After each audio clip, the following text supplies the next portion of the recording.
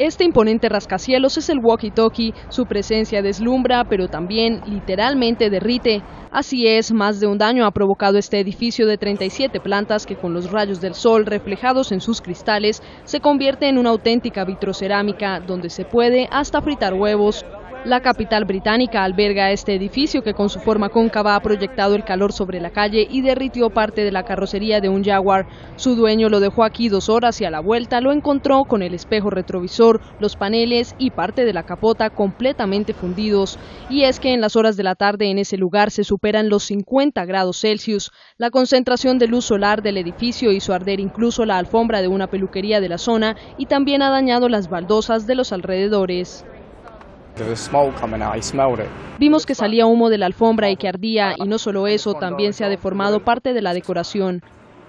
Por esto, los responsables del edificio han decidido cubrirlo con un andamiaje temporal para evitar más daños mientras estudian una solución permanente.